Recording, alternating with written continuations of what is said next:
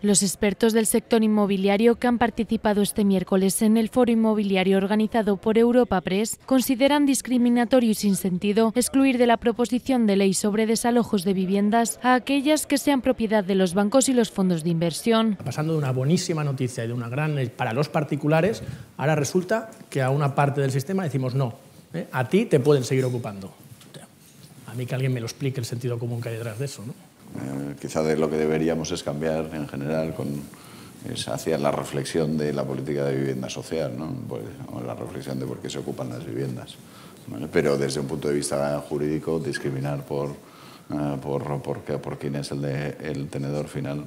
Pues... Importante centrarse en el alquiler, no en, en, la propiedad. En cuanto al macroplan inmobiliario anunciado por AENA, en las inmediaciones del aeropuerto de Madrid-Barajas, el sector inmobiliario también lo considera una buena noticia, si bien apuntan que se trata de una iniciativa de largo plazo que además genera algunas dudas. Y los ciclos yo creo que siguen sin entenderse, que son de 16 años, no de 4 y, la, y me temo que algunas de las decisiones que se están tomando son más pensando en el corto que en el, que en el largo.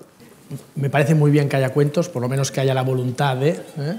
pero mm, todavía, todavía queda un largo camino. Este plan busca levantar inversiones por casi 3.000 millones para construir en los próximos 40 años en unos 2,7 millones de metros cuadrados instalaciones logísticas, hoteleras y de oficinas.